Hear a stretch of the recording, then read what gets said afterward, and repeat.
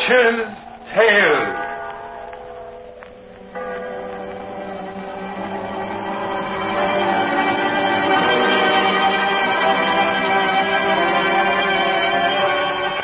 The fascination of the eerie, weird, blood-chilling tales told by old Nancy, the witch of Salem, and Satan, her wise black cat.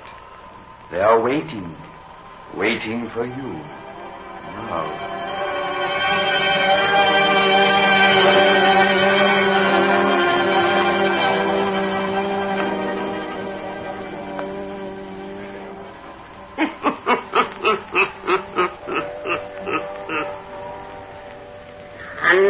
Hundred and seventeen year old I be today.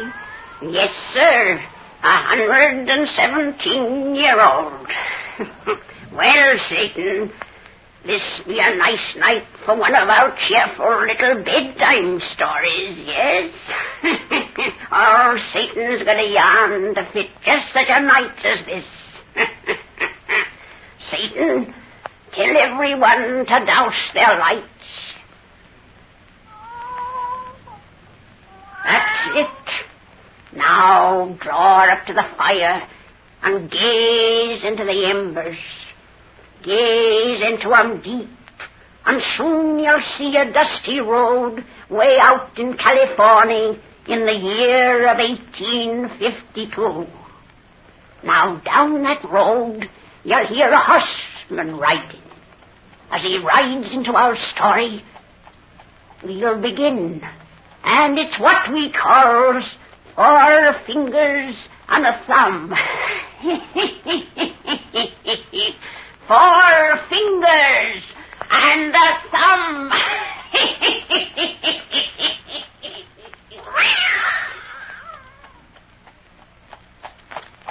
Wait up for me, Bert. I'm waiting, Dan. Hey, it ain't no end to travel alone when I can find a sociable fella to talk to. You going to the mine on business? Well, Cash sent in word by one of his Chinamen that he was itching to play a little stud poke this evening. Yeah, like everybody else in these parts. I think he's a low-down, dirty skunk. Well, if he wants to risk his money against mine, there's no reason why I shouldn't let him do it. Cash is a good card player. Yeah, and the boys have got an idea that you're deliberately easy with him. Well, they're entitled to their opinion, I reckon. Burke, I want to talk to you like a Dutch uncle and to warn you. Warn me? Yes, you ain't deceiving anybody by your actions, Cash Pelton least of all. Then I guess I don't understand you. Well, here it is in plain words, then. You're crazy about Cash's wife, and she's crazy about you. Cash is old enough to be her father, and someone ought to bash his head in for the way he treats her. Unless you come out bold and take her away from him mighty quick, he's going to get you some way. Cash has no reason to be jealous of me. Decent women neither respect or fall in love with my kind, Dan. I make my living with my wits and four trained fingers and a thumb. You're a square gambler, Dick Burke. Well, how you getting along with the Chinese at the mine, Dan? Do you dislike 'em as much as ever? And don't every decent white man in California despise the yellow devils, excepting you? Well, they're mostly clean, conscientious, and honest. Yeah, you wag your tongue too free sometimes defending them heathens. The general feeling again them is getting higher all the time. You know, I lived in China for nigh on five years, Dan. Yeah, that's where I learned the fine points of gambling. And I also learned the Chinese are mighty fine people if you treat 'em right. Uh, maybe so. But you better not be spouting such ideas to anyone but a friend like me. Round here, if it was thought you looked on Chinamen as equals, you'd just have to close your card room and get out of town. Yeah, I know. But I don't want to leave this town yet. Hmm, I know that.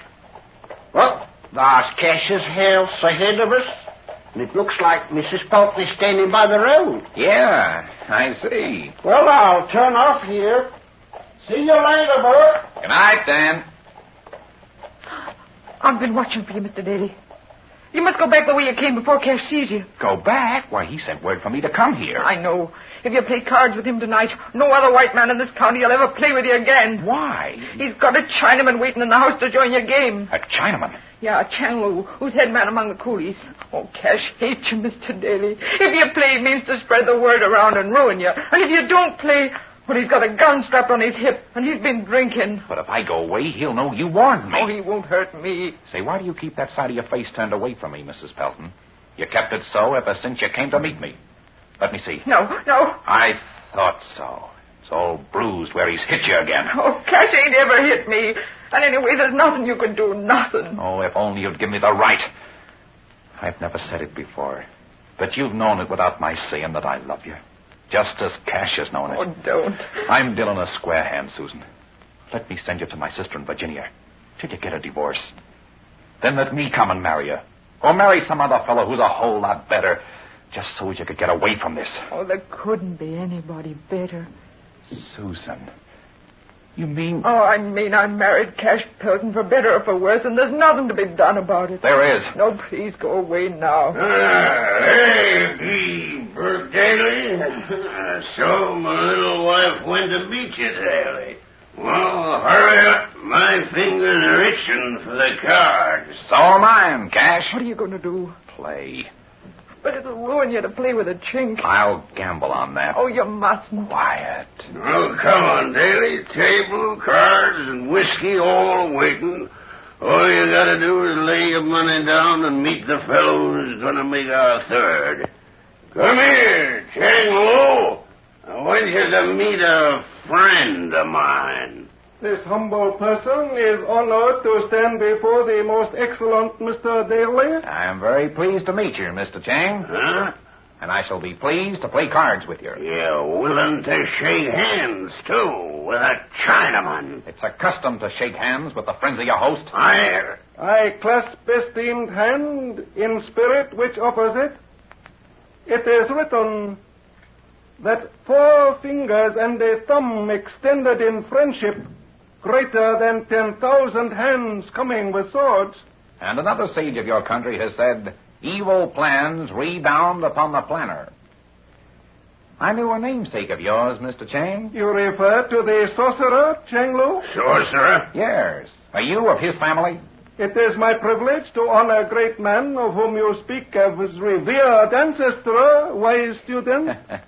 they say his magic powers were transmitted to his descendants. That'll make you a dangerous man to play stud poker with. Sit down. And no one around here better try any magic with these cards.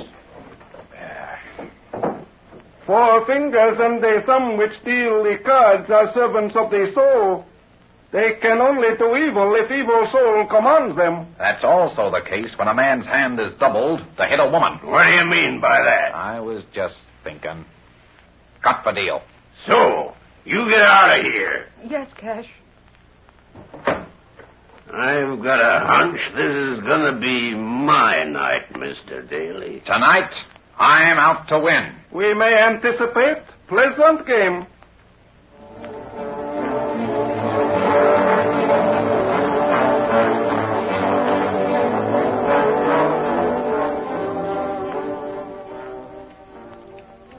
That's a hundred.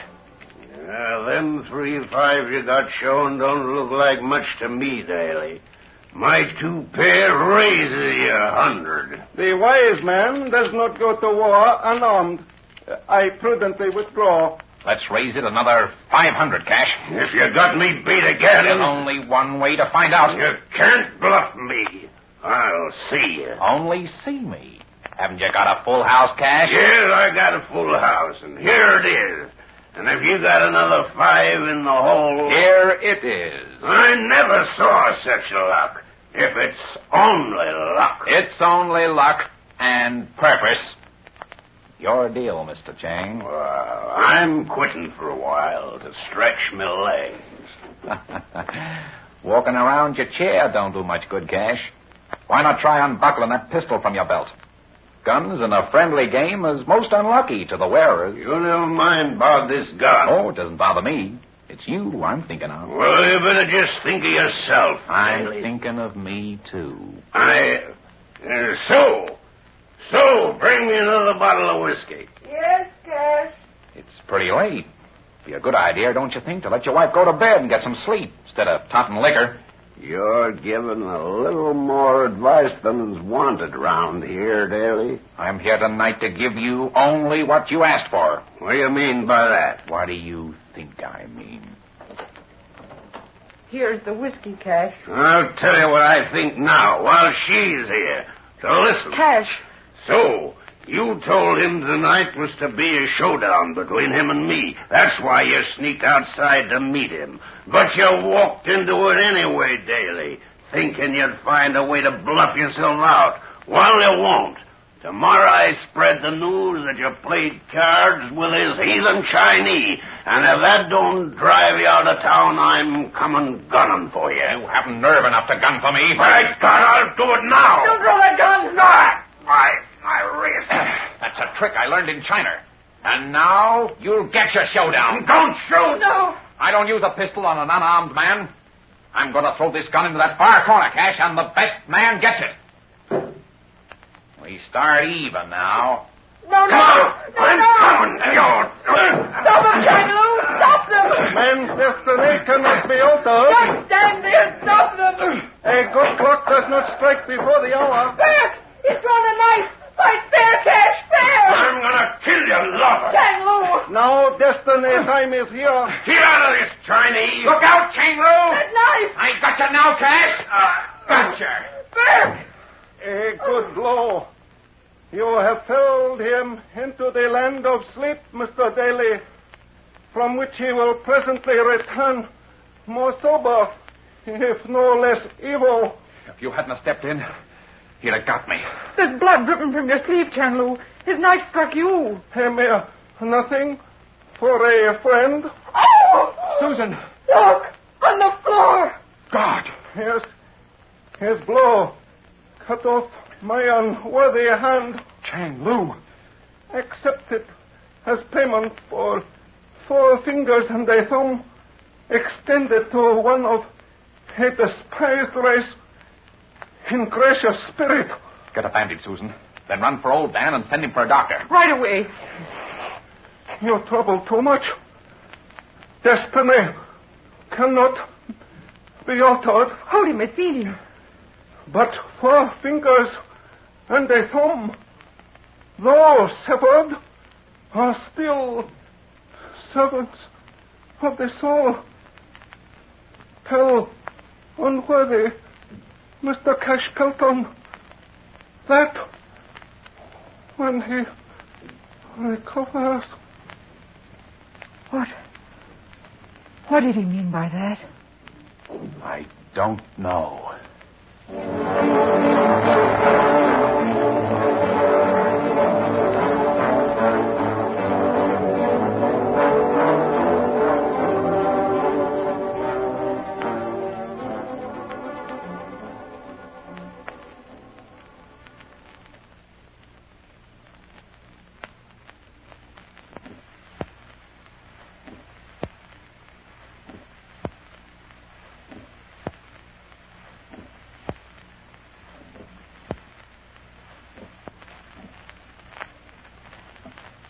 You're sure he's going to live, Bert?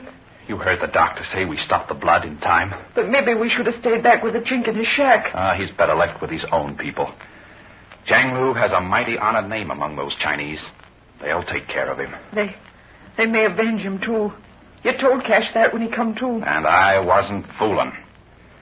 They know they can't expect any justice from the law around here. You didn't tell him what Chang Lu said to tell him, Lu, just before he fainted away. Oh, that didn't make sense. We're almost back to your house, Sue. And your husband. If you never knew what sort of a rat he was before, you learned it tonight. Oh, you've got to let me take you to my sister in Virginia. No, Burke. Still for better or for worse, huh? Yes. Till death do us part is part of the marriage service, too. I can do something about that. Oh, don't talk that way. Ain't I seen enough fighting and blood tonight? Oh, I'm sorry.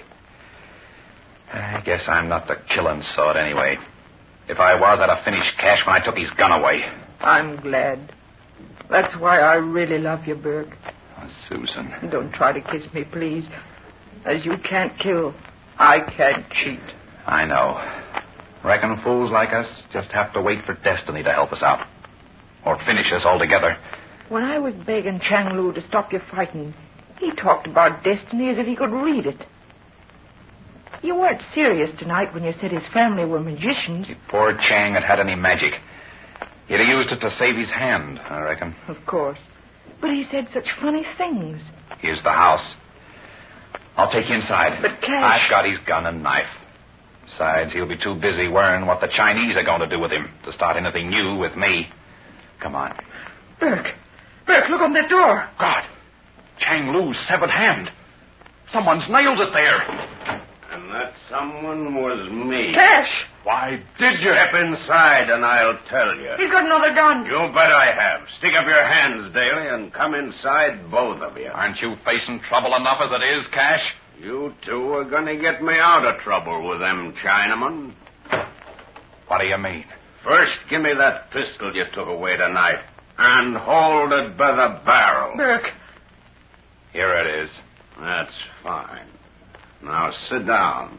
And don't worry, for I ain't gonna hurt you if you do just like I say. Before you, the doctor, and old Dan carried Chang Lu away from here, you told me plenty about what his people are like to do to me Daly. But I've been thinking of a way to stop that, with your help. I don't get you. You will. I know something about Chinamen, the same as you. I know they're gamblers, and that every gambler hates a cheat. All of us are going to swear that I cut off Chang's hand because we caught him cheating. Are you're crazy. Yeah, like a fox. Neither of you are going to be out of my sight until you tell that story where it's got to be told. And I'll have a gun on you every minute till you tell it. They won't believe it if we do tell it. I've thought of that. That's why I nailed that hand outside the door. It's gonna be the clincher. When they see that, they're gonna feel sure a man with nerve enough to put it there is in the right. I'll never back you up in such a rotten lie. You don't, you'll get a bullet in your heart. Cash. I mean what I say. Someone's knocking. It may be the Chinese now. Open the door, Sue. And remember, I'll do whatever you say. Burke, you... he'll do what I say, too. Open that door. There's no one here. Someone knocked. Twice. I know, but they're gone. Well, let me see. Well, that's funny. No one in sight. Guess we didn't hear no knocking. Close the door.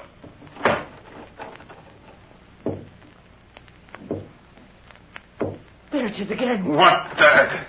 There's still no one here. But we heard it that time, sure. There's old Dan. He's the one who. He's 50 yards away. Dan, were you knocking at this door? How could I be knocking? I just come to your house to tell you that Chang Lu is dead. Dead? Chang Lu? The doctor said he'd get well. The doc was wrong. Chang came out of his faint, asked the time, then said he'd be dead in just five minutes. And he was. He knew when he was going to die. Yep, and his last words was a message to you, Cash. Seems he wanted to tell you that four fingers and a thumb are always servants of the soul. What? That knocking again. Beside me. It's that hand on the door. It's moving. Pulling loose from the nail. The thing's alive. Oh, it dropped to the ground. It's coming towards me. It's climbing up your leg. Knock it loose. It wants to reach me throat. Ah! It's falling off. There it goes through the grass. But it'll come back again. It'll come back to kill me. Four dead fingers on a thumb.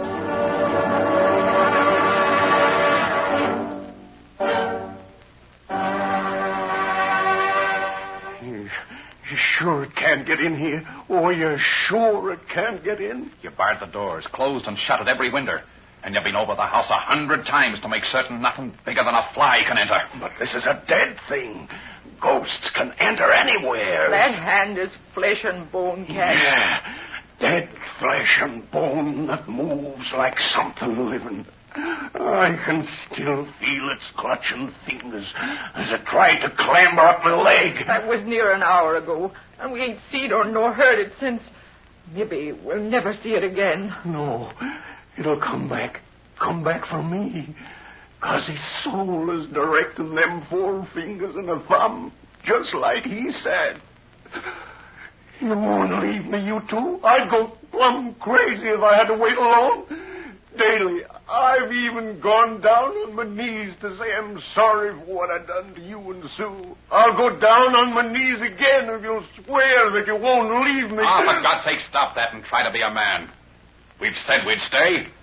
I wouldn't leave even you to face that thing alone. Oh, I still can't believe we really saw it. We really saw it, Burke. I saw it, heard it, felt it. Old Dan ran away after it. It happened, Cash, and later we heard a galloping horse.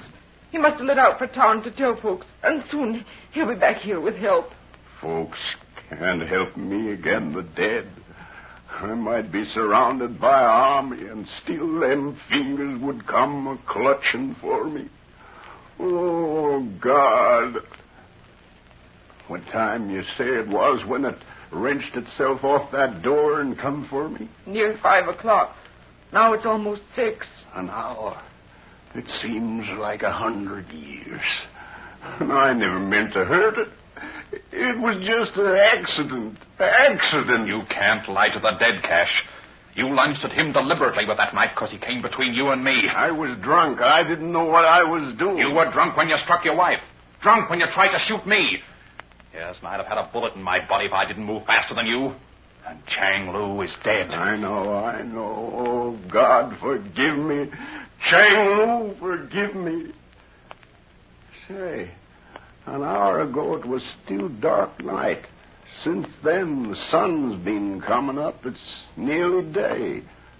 We could blow out these lamps if we didn't have the shutters drawn. Maybe that's the reason we ain't seen or heard that hen no more. Cause the dead and their power is only strong in darkness. Burke, that may be so. I never thought of that. It is so. While it's light, that thing can't come for me. And by the time it's dark again, I can be so far away it won't even find me. It's only a cut off hand with just fingers and a thumb to pull it along. It can't follow a man on a good fast horse. Pack your things, Sue. We're getting away from here. Oh, no. You can go, but she don't go with you. Oh, yes, she does. And before we go, Mr. Daly, I ain't finished what I started on you last night. Put down that gun, Cash. Burke's helped you, being your friend. I don't need his help or friendship now, for I know I'm safe. I know I'm safe. What? What? Something knocked on the bottom of the door. And something's moving outside the cell. It's some kind of little animal. Maybe a rat. or- Animals don't knock. It can't be. Can't be. Something white has been pushed under the door. A piece of paper. Get it. Get it. What is it? Look. There's a Chinese figure on it. Yeah, traced in dried blood. It's the Chinese character for six. Six. That means six o'clock. That knock again. One knock for yes. Six o'clock. It'll be that in just three minutes, and then the hand will come for me. What am I going to do? What am I going to do? It do? can't get in this house. It can't. Listen. Oh. It's pulling itself up the doorframe by my ivy vine. It can't get in here. It can't. What was that? A key turned in the lock. Well, that won't help it. This door is barred inside. Yes, you fool. But you left the key outside and it's locked us in. That won't do no harm. What's that? It's dropped back to the ground. And now it's pulling itself away. How fast it moves. Like a rabbit jumping. Maybe it's got some way to get in. You barred every outside door and shut at every window. Ah! Glass! In the next There's room. a little light in the hole in that shutter. It squeezed through and broke the pane. With that heavy door key. It's coming this way. Shut the door, quick! Uh, Too late. It slipped by me. Get away from me. Away. Shoot it! Shoot it! Oh, bullets don't stop it, and it's almost six o'clock. It's got me in the corner, and I can't get away. Here, keep your wits. It's only a hand. You can throw it off like you did before. Then we'll find some way to destroy it. Good Lord! It's pulling that table cover under the lamp. The lamp is fallen. Ah, the oil's on the clothes. I'm burning. You've gotta save him, Bert. Even a dog can't die like that. I can't get to him. There's a wall of flame between. The clock. Ah, the clock. Oh, he's shot himself. We must get out of here, Sue. We'll be trapped like he was, and I haven't a gun. We'll burn to death. I've got the door unbarred. Come on. Oh, I forgot this door is locked outside. Look, the hand. He dropped the key at my feet. Oh, now it's going towards the flames. It's in the fire. I've got the door open. Come on. Oh, Bert. Oh, Bert, we're free. For better now and not for worse. That voice. I heard it too. It is written that four fingers and a thumb extended in friendship is greater than ten thousand hands coming with swords.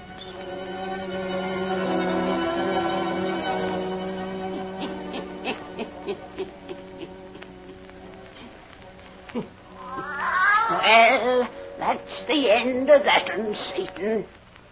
Sleep good till next time, little children.